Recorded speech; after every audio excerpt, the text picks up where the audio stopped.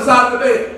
So if God showed us a dream in the middle of the night, we would get up and start writing so we won't forget what God was trying to show us through the language of dreams in the realm of the spirit. What do you mean? Because if God is showing me something, I need to make sure that I remember what he said. In Hebrews, it says, take heed to the word that you have heard, lest at any time you will let it slip.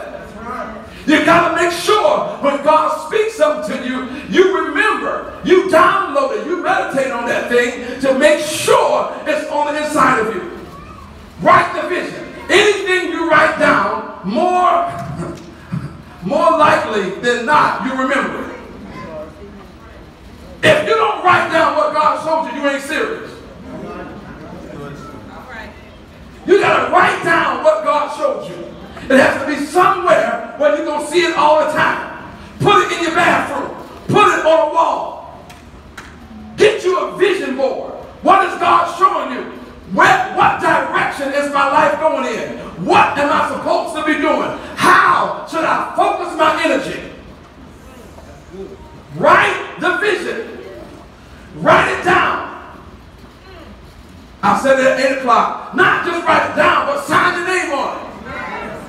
Tell God I'm in agreement with you about me. That's right. Y'all quiet. When you sign your name, it's a binding contract. You're telling God I'm in full agreement about my own life. And some of us think vision is fantasy. If if you had a true vision from God, you're gonna start moving. You don't sit back and just, oh, I had this vision and it's fantasy if you don't do nothing about it. It's not reality. Most folks in there fantasize, they never do nothing.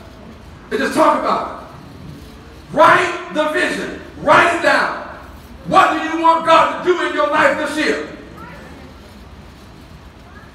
The next five years, next ten years. What is my life supposed to look like? Because God has already prepared my life, but if I go after Him, He reveals to me what it is. Young people, you don't have time to wait. Write the vision. Yes. Let me give you this.